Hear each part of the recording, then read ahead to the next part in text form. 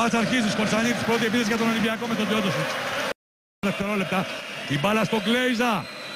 Καλάθι από το Λιθουάνο 2-0. Εδώ ξανά η προσπάθεια του Ναβάρο. Ε, η πάσα στον ε, Μονιφερές του οι αμυντικές θα είναι σηκωμένες, θα πρέπει να είναι σηκωμένες πάνω στον ε, Ναβάρο. Θεόντοσιτ 14-13.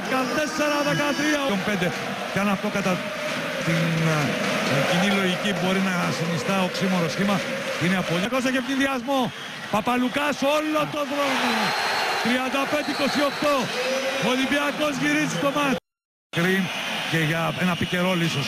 Σκορτσανίτης, Τσίλντρες, καλάθι για τρεις. Μπαρτσελώνα είναι πολύ κοντά στο να κατακτήσει για δεύτερη φορά στην ιστορία της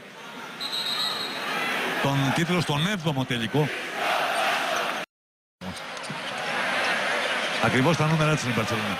80 έβαλε, θα βάλει 83 τώρα με το τρίποτο του Μπαζίλε. 2010 μετά από 7 χρόνια η ομάδα που επαναλαμβάνω για πολλά χρόνια, για πολλά Final Four.